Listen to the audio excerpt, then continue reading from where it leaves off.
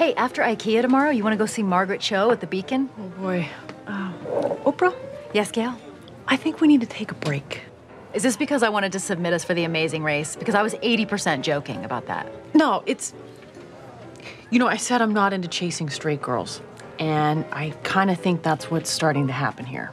So, unless you're ready to make a big life change, I need to move on. Find my Stedman.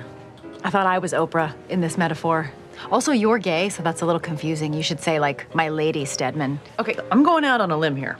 Okay, sorry. Um, it's just, uh, if I try to imagine us being together, I think, yeah, okay, this could be fun, you know, picking out furniture and uh, making flower beds out of old railroad ties. But the thing is, if I'm gonna be with someone, it has to be a guy. You sound pretty sure about that. What can I say? I love a bald spot and a hairy back. You're alone there. I should go. I'll see you around. Okay, wait, um, what if we made a pact? What if we say that in like 25 years, if neither of us has someone, we'll move in together and be roommates?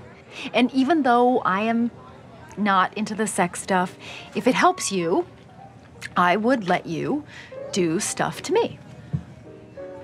I can't be around you anymore. Bye, Liz. That's funny, that's what the guys always say. Who's gonna go with me to cooking class next weekend? Well, if by cooking class you mean your bed, and by next weekend you mean Oh, tonight. Shut up. I can see your wedding ring.